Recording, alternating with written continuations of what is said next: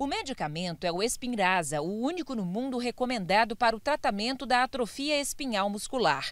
A previsão é de que esteja disponível na rede pública em até seis meses. A medicação significa uma luz no fim do túnel, né? Do túnel. Então, o que, que eu indico? Procurar a administração de saúde, né? A Secretaria Municipal e Estadual de Saúde, fazer, é, a, entregar todo o requerimento, toda a prescrição médica desse paciente, com todo o histórico, com todos os documentos que pedirem, para poder é, ter esse acesso. A AME, como a doença também é chamada, afeta uma em cada 10 mil pessoas pessoas e provoca fraqueza muscular que aumenta com o passar do tempo.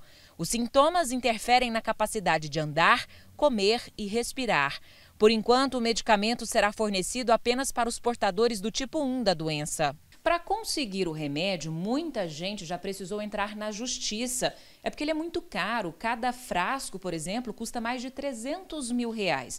O problema da decisão é que ela não contempla quem depende de aparelhos para respirar e que tem a traqueostomia. A Maria Luísa, de 6 anos, é a filha da Kátia e está nessa situação. Kátia, como é que você enxerga essa decisão?